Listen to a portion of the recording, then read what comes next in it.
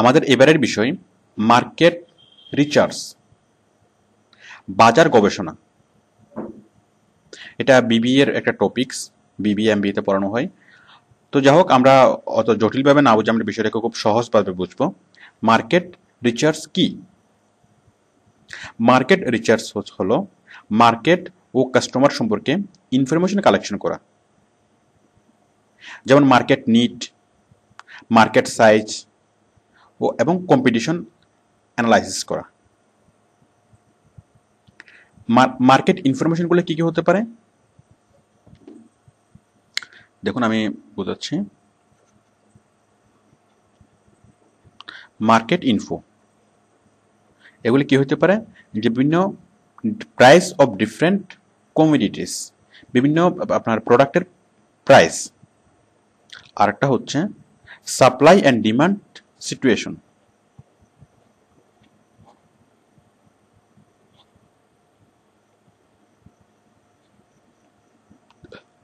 তাহলে মার্কেট ইনফরমেশনগুলো হচ্ছে, প্রথমত প্রাইস যে বিভিন্ন প্রোডাক্টের প্রাইস কোন প্রোডাক্টের দাম বাড়ছে, কমছে, অথবা কোনটার রেট কত। আরেকটা হচ্ছে সাপ্লাই অ্যান্ড ডিমান্ড সিচুয়েশন মানে কোনটার সাপ্লাই কত আছে, কোনটার ডিমান্ড কেমন, এই জিনিসগুলো, এই ইনফরমেশনগুলো কালেক্ট করা। আচ্ছা মার্কেট রিচার্জ বোঝার জন্য আমাদেরকে বুঝতে হবে মার্কেট সেগমেন্টেশন মার্কেট সেগমেন্টেশন আমরা মার্কেট মার্কেটকে অনেকভাবে সেগমেন্ট করতে পারি মানে অনেকভাবে আমরা ভাগ করতে পারি। সাপোজ ফার্স্টলি জিওগ্রাফিক্যালি আমরা মার্কেটকে যে কয় ভাগে ভাগ করতে পারি? আচ্ছা মার্কেটের ভাগগুলো আমরা কেন বুঝব? আমাদের মার্কেট রিচার্জ করতে হলে যে মার্কেটকে কয় কয় ভাবে ভাগ করা যায়, এই জিনিসগুলোকে আমাদেরকে বুঝতে হবে। তো মার্কেটকে আমরা যেভাবে ভাগ করতে পারি, বিভিন্নভাবে ক্লাসিফাই সেগমেন্ট করতে পারি ফার্স্ট ওয়ান জিওগ্রাফি মানে জিওগ্রাফিক্যালি যেমন শীতের দেশের মানুষ একরকম প্রোডাক্ট ইউজ করে, আবার গরমের দেশের মানুষ একরকম প্রোডাক্ট ইউজ করে। তো সাপোজ আপনি এসি মার্কেটিং করবেন এয়ার কন্ডিশনার মার্কেটিং করবেন, তাহলে কোথায় করবেন? অবশ্যই গরমের দেশে। ওকে তাহলে এক এক জিওগ্রাফির মানুষ মানে জিওগ্রাফিক্যালি এক এক জায়গার মানুষ এক এক ধরনের প্রোডাক্ট ইউজ ইউজ করে। যেমন আমরা খাই কি ধরনের খাবার? আমরা খাই ঝোল মানে ঝোল ধরনের খাবার। কারণ, আর শীত প্রধান দেশে খাই শুকনা খাবার। আমরা ঝোল বেশি কেন কারণ কি? আমাদের যে বিষুবরেখার উপরে যে দেশগুলো, ওগুলোতে সূর্যের তাপ বেশি এবং সেই কারণে কি কি করে? মানে মানে ঝোল ঝোল জাতীয় কারি, আমরা খাই কারি। আর ইউরোপ, ইউরোপে খাই মানে শীত প্রধান দেশের মানুষরা খাই specially fry okay number two personality এখন এক এক মানুষের পার্সোনালিটির পার্সোনালিটি এক এক রকম। মানে এক এক পার্সোনালিটির মানুষ এক এক রকম প্রোডাক্ট কিনবে। সাপোজ আপনি সিনেমার কথাই চিন্তা করুন অথবা যে কোনো একটা প্রোডাক্টের কথা চিন্তা করুন, যে একটা প্রোডাক্ট এক এক ধরনের কাস্টমার এক এক ধরনের প্রোডাক্ট কিনবে। মানে আপনি সিনেমাগুলোই দেখুন, যে কিছু কিছু সিনেমা দেখা হয় যে অনেক হাই ক্লাস মানুষের জন্য হাই ক্লাস মানুষকে টার্গেট করে সিনেমাগুলো বানানো হয়। আবার কিছু কিছু সিনেমা বানানো হয় খুব মানে একদম রুট লেভেলের কাস্টমারদেরকে টার্গেট করে। তো আপনি বিষয়টা একটু চিন্তা করলে আরও বুঝতে পারবেন যে পার্সোনালিটি অনুযায়ী মানে এক একজনের পার্সোনালিটি অনুযায়ী মানুষ এক এক রকম প্রোডাক্ট ইউজ করে। তারপর হচ্ছে ডেমোগ্রাফিক ডেমোগ্রাফিক মার্কেটটা হচ্ছে মানে এক এক ধরনের মানুষ, যেমন সাদারা এক এক ধরনের প্রোডাক্ট ইউজ করে, কালোরা এক ধরনের প্রোডাক্ট ইউজ করে। মানে জাতি, যে বাঙালি জাতি এক ধরনের প্রোডাক্ট ইউজ করে, আবার মানে শ্রীলঙ্কানরা এক ধরনের প্রোডাক্ট ইউজ করে। তারপর আমেরিকানরা আরেক ধরনের মানে প্রোডাক্ট ইউজ করে। যদি বা আমরা সবাই খাই, আমরা সবাই কি ফুড বাট সবাই আমরা খেলেও কি আমাদের ডেমোগ্রাফি অনুযায়ী আমাদের ফুডগুলো ডিফারেন্ট হয়েছে। যে জাতিতাত্ত্বিক যে বিষয়গুলো, যেমন আমরা কি খেতে অভ্যস্ত, আমাদের সমাজ ব্যবস্থা, আমাদের কি, আমাদের হিস্ট্রি মানে আগে থেকে আমাদের পূর্বপুরুষরা যেটা খেয়ে অভ্যস্ত, আমরা সেটা খেয়ে অভ্যস্ত। এবং সেটা ইউজ করে আমরা অভ্যস্ত। এটা হচ্ছে ডেমোগ্রাফিক যেমন আমরা যেমন মায়ানমারের লোকেরা লুঙ্গি পরে। ওরা লুঙ্গি পরে অফিস আদালতে যায়। ওটা কোনো, ওদের জন্য কোনো প্রবলেম না। Because this is their national dress ওইটা হচ্ছে ডেমোগ্রাফিক বিষয়। যেমন ব্রিটিশরা কোট কোট পরে। তারপর আমরা নর্মালি শার্ট প্যান্ট পরি।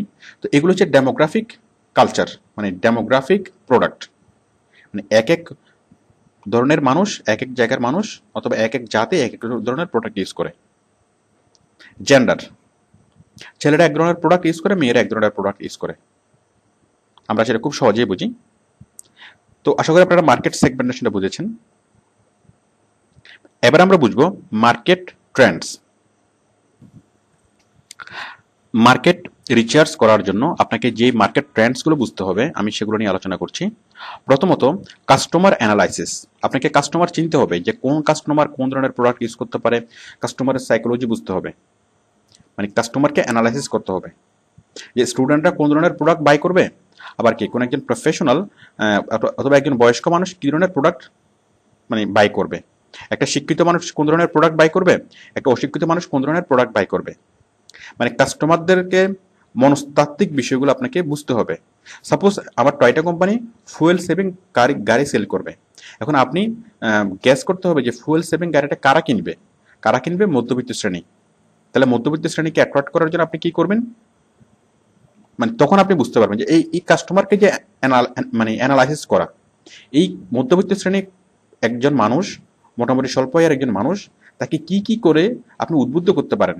তাকে কি কি সুবিধা দিলে, অথবা গাড়ির মধ্যে আপনি কি কি সুবিধা ইনক্লুড করলে সে আপনার গাড়িটা কিনবে? তাহলে এই যে কাস্টমারের মন আপনাকে বুঝতে হবে যে কাস্টমারকে আপনাকে, সেই কাস্টমারকে নিয়ে আপনাকে অ্যানালাইসিস করতে হবে। এটি হচ্ছে customer analysis number two choice modelling choice modelling modelling এর মধ্যে যে তিনটি বিষয় আমরা পাই, প্রথমটি হচ্ছে প্রাইস দ্বিতীয় দ্বিতীয়টি হচ্ছে পারফরমেন্স এবং তৃতীয়টি হচ্ছে অরিজিন তো প্রাইসটা আমরা বুঝি। কোন একটা প্রোডাক্টের প্রাইস মানে বিভিন্ন প্রোডাক্টের প্রাইস নিয়ে মানে গবেষণা করা। কোন প্রোডাক্টের প্রাইস বেশি, কোন প্রোডাক্টের প্রাইস বাড়তে পারে, কমতে পারে, অথবা এই ধরনের যেগুলো কম্পেয়ার করা। পারফরমেন্স কোনো একটা প্রোডাক্টের পারফরমেন্স তুলনা করা। পারফরমেন্স এক এক ধরনের প্রোডাক্টের এক এক রকম। যেমন আমরা জাপানি প্রোডাক্ট যদি আপনি কিনেন, তাহলে সে জাপানি প্রোডাক্টের পারফরমেন্স অনেক ভালো। বাট যদি চায়না প্রোডাক্ট ইউজ করেন, তাহলে কি? সে চায়না প্রোডাক্টের পারফরমেন্স অত ভালো না। বাট দাম কম। জাপানি প্রোডাক্টের দাম বেশি, কিন্তু পারফরমেন্সও বেশি। পারফরমেন্স ভালো এবং চায়না প্রোডাক্টের দাম কম পারফরমেন্স কম। তো আপনাকে, তাহলে আপনাকে এই মার্কেট মানে রিচার্জ করতে হলে আপনাকে প্রোডাক্টের পারফরমেন্স নিয়ে আপনাকে কোয়ালিটি মানে তুলনা করতে হবে। দেন অরিজিন এটা কোথাকার তৈরি? Made in China or made in Japan or made in Bangladesh মানে এটার অরিজিনটা কোথায়? এটা কোথাকার পার্টস দিয়ে তৈরি করা হয়েছে? এটা এটা কোথাকার কাঁচামাল দিয়ে তৈরি করা হয়েছে? এটা আমাদের বুঝতে হবে।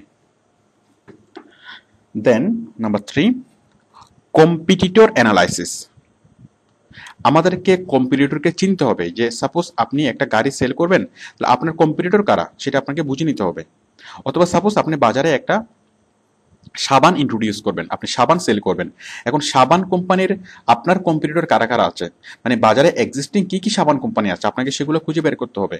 তারা কি কি ধরনের সাবান প্রডিউস করে এবং তারা সাবানের দাম কত রাখে?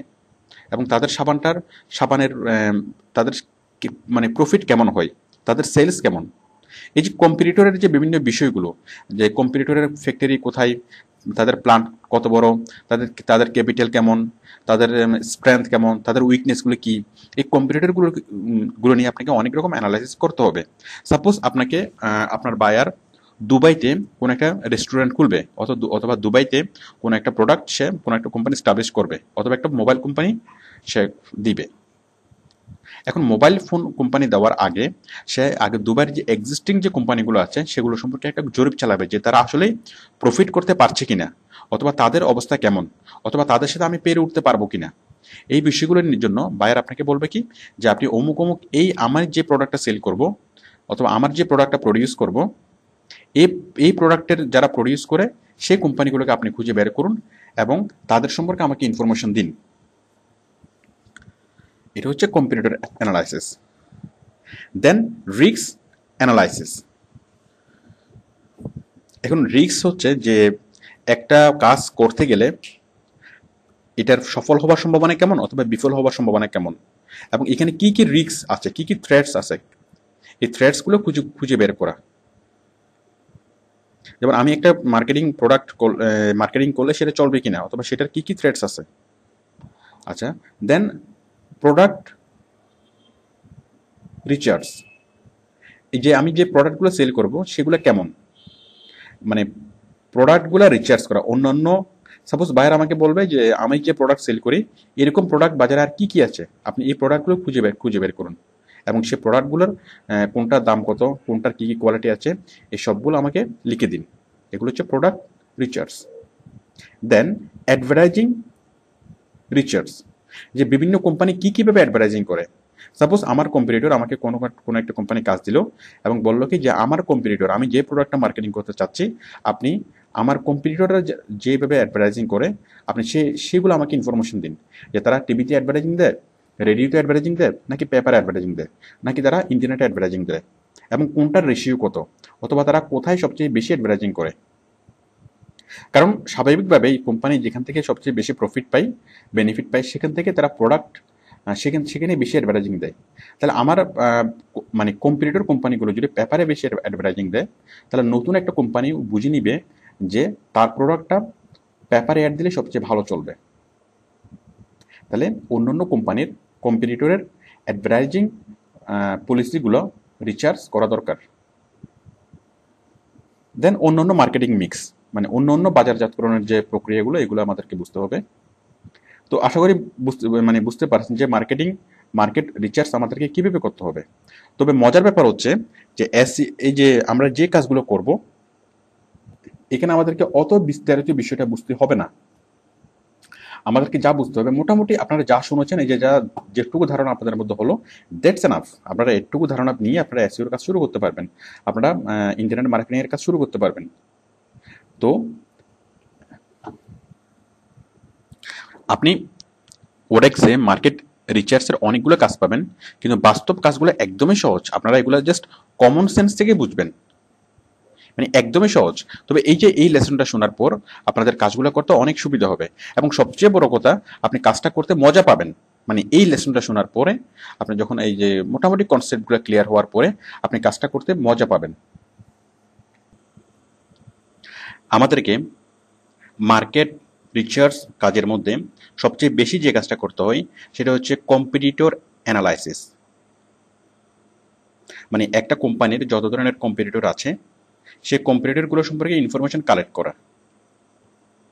তো এখন আমরা কম্পিটিটর অ্যানালাইসিস কীভাবে করব, সে সম্পর্কে জানব। প্রথম হচ্ছে ব্যাকগ্রাউন্ড মানে কোম্পানির ব্যাকগ্রাউন্ড দেখে। সে কোম্পানির লোকেশন সে কোম্পানির হিস্ট্রি সে কোম্পানির ওনারশিপ মানে সে কোম্পানির লোকেশন কোথায়? মানে আমার যে কম্পিটিটর কোম্পানিগুলো, আমার বায়ারের কম্পিটিটর কোম্পানিগুলোর লোকেশন কোথায়? সেই কোম্পানিগুলোর ইতিহাস কী? মানে সেই কোম্পানিগুলো কীভাবে উঠে উঠে এসছে? কীভাবে এস্টাবলিশ হয়েছে?